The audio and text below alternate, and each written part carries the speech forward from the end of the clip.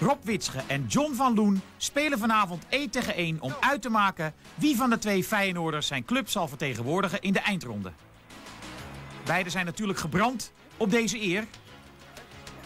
En Witsche is als eerste in de aanval. En krijgt hier een verschrikkelijke schop van de onhandige Van Loen. Die zichzelf het meeste pijn lijkt te doen met deze late tackle. In elk geval gaat Witsche door. Niet aangeslagen.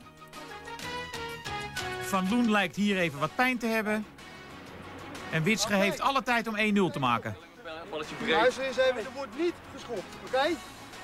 Ja, nee. Ja, fijn. 1-0 achter. 1-0 voor op. Dan gaat Van Loen weer op de lat. Wits aan de bal, mooie beweging. Appel wordt niet gehonoreerd. En die bal is achter. Van Loen weer in de aanval dus. Gaat Witsche voorbij en maakt een prachtig, werkelijk prachtig doelpunt 1-1. Wedstrijd, Witske voor. Wits ging balbezit.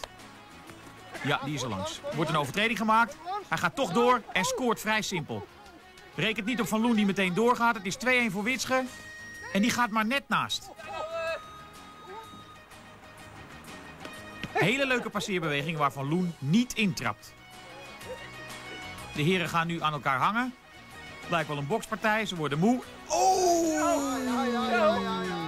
Een verrassend staaltje van techniek van Van Loen. Het is 2-2.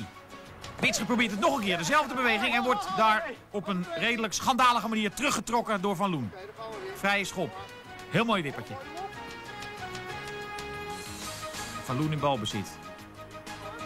Hij dreigt. Hij krijgt een zet. Hij krijgt een zet. Het is meer vermoeidheid dan kwaadaardigheid. Maar het is een vrije schop.